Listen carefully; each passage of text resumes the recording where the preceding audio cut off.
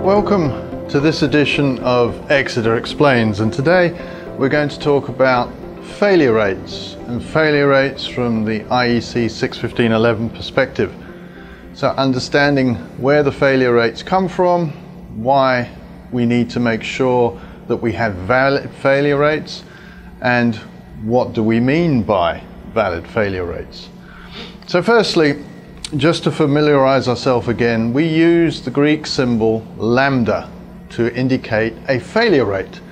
And a failure rate is a number of failures per unit operating hours. So sometimes failure rates are expressed in terms of a per hour, for example, 5.6 times 10 to the minus 7 per hour, or we might show it in terms of the failures in time or failure units in time known as fit, which would then be 650 fits.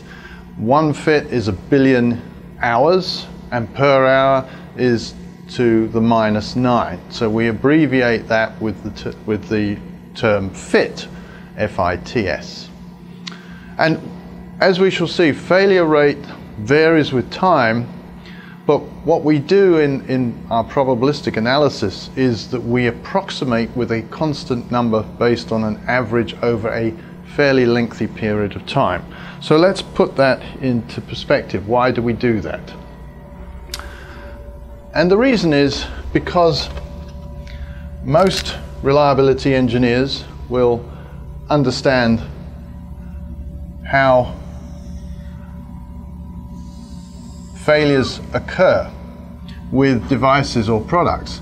And what tends to happen is it tends to start off fairly high, drops down, and then sort of flattens off before at some point in time ramping back up. So these would be failures.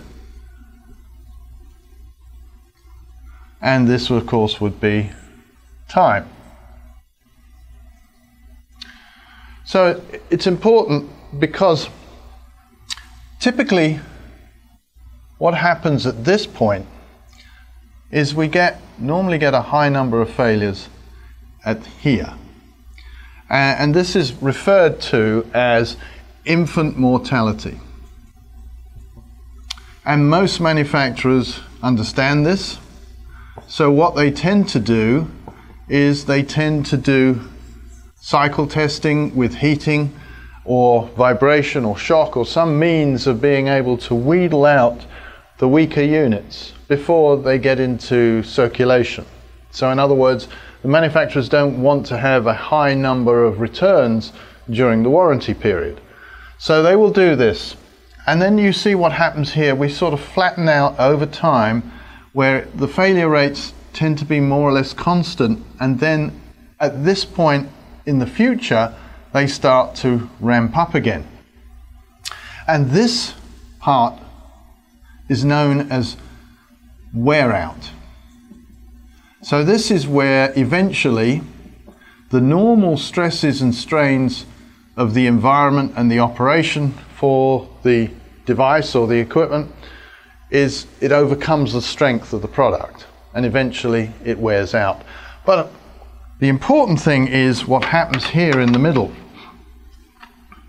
And what happens here in the middle, of course, is that we can see if we take an average over this period of time, I apologize, my drawing is not up to scratch, but you can see here, this is relatively pessimistic. Not that pessimistic, but it's conservative, let's say. But you can see during this period, we can assume constant failure rate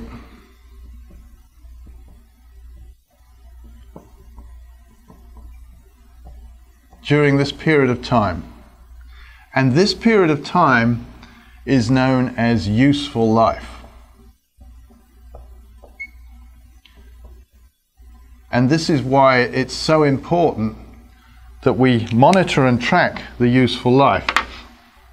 Because in our probabilistic analysis, everything we do is predicated on this concept of constant failure rate during useful life. So if we get out here, we no longer have a constant failure rate, it's unpredictable, and of course, this is what happens if you have a run to fail philosophy. So it's very important that we have to understand and track our useful life. So when we talk about failure rates from the point of view of the of the IEC 61511 application, where for use in the calculations for our PFD average or PFH, these are based upon the random failures, and these failures are based upon the fact that we're using equipment within its useful life where we can rely on the failure rate information we're being given. So where do the failure rates come from? There's two fundamental ways of us being able to obtain failure rate data, of course, is through estimation. We can use estimation techniques to estimate our lambda based upon failure data. We can do prediction, failure rate prediction, based upon either real test results or design strength analysis. For example, the FMEDA approach, the failure mode effects and diagnostics analysis. This is a technique that uses a predictive model to be able to calculate an overall failure rate for a piece of equipment or a device and usually FMEDA results are slightly more conservative, but they're still very much within the same region as we see with test data or other techniques.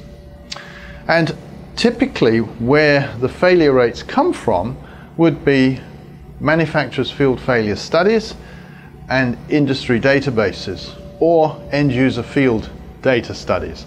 The problem with manufacturers' field failure studies is that we typically really don't know how many devices are actually returned to the, the manufacturer, especially once it's outside of warranty, and it very much depends upon the type of device.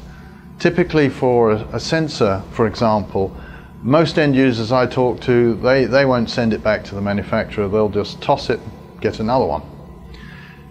So manufacturers field studies have to be looked at carefully because number one, we really don't know truly how many modules have failed and what's been returned.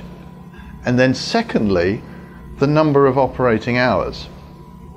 So here again, a lot of the times manufacturers will assume as soon as they've shipped it, that's when the clock starts ticking. And so typically what a lot of manufacturers do is they will look at the volume they've manufactured of the device or whatever it happens to be, the date they started doing that, how many devices have been shipped, how many have been returned, how many of those returned had failures and so forth. And then they would calculate a time based on that volume of equipment that's shipped, that's shipped rather, and then figure out a failure rate. The problem with doing that is you're going to end up with very overly optimistic results. The other problem, of course, or the other challenge is what happens if a device is sent back to a manufacturer and no faults found. Is the manufacturer going to classify that as being a failure or not? Typically, most of the time, if they can't find a fault, it won't be classified as a failure. Industry databases are useful to refer to, but again, you have to look at, at, the type of equipment. So for example, in the 60s and 70s, there was a lot of data collected by the military and of course telecommunications. But here again, if we're looking at equipment that's going offshore, for example, then we wouldn't necessarily use that as a reference. We would probably go to the OREDA, which is the Offshore Reliability Equipment Database, uh, and look at that. End user field studies, of course, the best source is from the end user sites, but again, half the problem is the systems used to document and to track failures, and also the methods. It's not usually consistent, and so sometimes, again, you have to be careful with field failure data.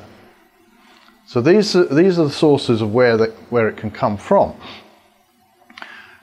What happened in 2016 was that IEC 61511 had this clause added, 1193, which now says the reliability data used when quantifying the effect of random failures, in other words, when we're doing our PFD average calculations or our PFH calculations, depending on whether it's low demand or if it's high or continuous, that data has to be credible, it has to be traceable, it's got to be documented and justified.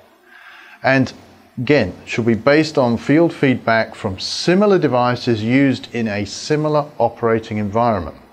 So this is, this is pretty strong language. And the reason this has been put in is because there have been instances like this. You can see on the chart that we have circles, green circles, black circle, and the, the little triangles. This is data that's been gathered on, in this particular case, solenoid valves. And you can see that there's the FMEDA data, which exida uses, is slightly more conservative when compared to the OREDA data, the Dow data, and a pipeline company uh, data as well. And if you look down below that at the red circles, you can see those are showing much, much lower failure rates. And the problem with this is that those red ones can't be that much better than the, the standard or what a lot of industry is seeing. So why is that? And again, it depends upon where the source of data is coming from. If it's manufacturer field failure data, it needs to be triaged properly. It needs to be looked at. There needs to be consideration given to what realistically is the number of hours that we could use and typically how much or how many devices or what equipment has been returned or not. So if you don't take a view with that, you can end up again with very low failure rates. And these failure rates here do not meet those four requirements of clause 1193. It's not credible, it's not traceable, it's not documented, not justifiable. So we have to be very careful with looking at certificates, looking at the failure rate data on the certificates. So here again, we can see that the failure rates are much, much lower than we would expect to see. And one of the other things that you can use as a source of comparison is there's a website called SilSafe Data, www.silsafedata.com. And this will give you some boundaries. It'll give you a lower boundary and an upper boundary of what you would expect to see in terms of the failure rates for these types of devices. So this is not going to be justifiable or credible. So if you look at SilSafe data, for example, if we looked at a, a typical um, poppet type device, solenoid valve, poppet, three-way, you can see that there's an upper limit for the number of fits in this case and a lower limit. And then you can see what it is for a spool valve and if we look here, we can see this would be the limit, lower limit for a poppet solenoid valve in low demand again. And this would be the limit for the spool valve, again in low demand. So the red dots don't fall within that. And we would have to look very carefully at, at where did those numbers come from. Because they're much lower than expected. So again, we need to be careful. We need to make sure that the failure rate data we're using in our calculations complies with the 1193 clause so that we make sure we can justify the numbers we're using. So I hope you found that useful. Any questions, please let us know. We always like to hear from you. Thank you for listening and look forward to the next time.